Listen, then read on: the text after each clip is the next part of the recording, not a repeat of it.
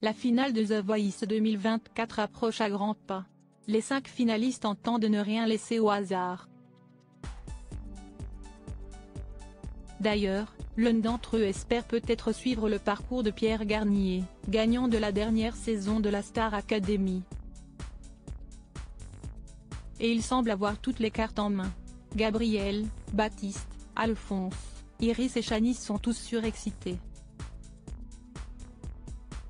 Après des semaines de compétition dans The Voice 2024, et de longs mois de tournage, les cinq finalistes vont enfin découvrir lequel d'entre eux est le grand gagnant du célèbre concours musical ce samedi 25 mai sur TF1. Forcément, ils appréhendent. Mais une belle surprise s'annonce, les talents ont l'opportunité de présenter leur premier titre inédit sur scène. À deux jours de la finale de la 13e saison de The Voice, Pure People. Comme a pu assister aux répétitions. L'occasion d'écouter chacun des cinq titres inédits, tous écrits avec l'aide des coachs, mais aussi d'échanger avec les candidats.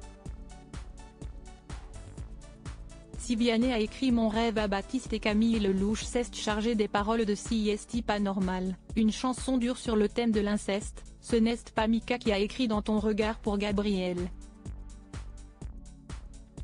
En effet, le coach était pris dans sa tournée mondiale et n'a pas pu se pencher longuement sur le sujet. CST ainsi qu'il a, avec son manager, mis à contribution ses équipes pour que son talent puisse proposer un titre à son image. Gabriel, The Voice 2024, prêt à cartonner comme Pierre Garnier, Star AC, et CIST en réalité une certaine Daisy Bertonnet, plus connue sous le nom de scène Daisy, qui a écrit le titre. Son nom est bien connu dans le milieu, et circule beaucoup ces derniers mois.